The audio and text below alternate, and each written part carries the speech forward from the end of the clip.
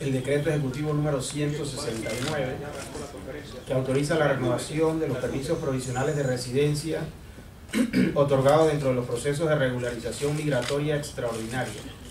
Con base en, esta norma, eh, tratamos de eh, concluir el proceso de crisol de raza, pero al mismo tiempo eh, darle la oportunidad a aquellos empresarios, inversionistas o trabajadores que ingresaron a nuestro país bajo este sistema eh, para que puedan eh, hacer uso de la renovación únicamente.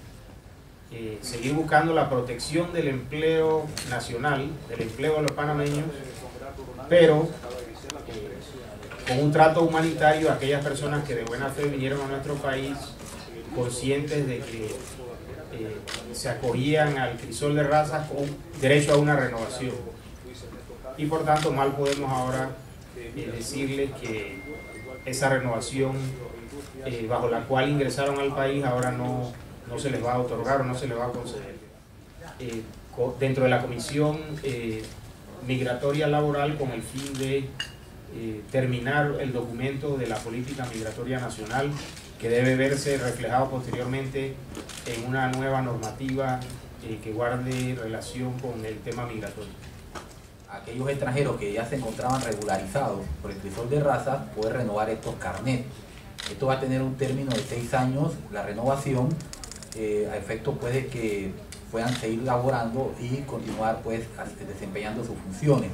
Queremos hacerle bien claro el señalamiento a los extranjeros que están en esta situación que en los próximos días se les está venciendo, que nosotros vamos a habilitar dentro de la página web en los próximos días un sistema de citas a efecto de, con un orden, poder atender a toda la gente que desee eh, renovarlo. No va a entrar nadie nuevo adicional, van a ser los mismos que ya están eh, en el país, que tienen un carnet.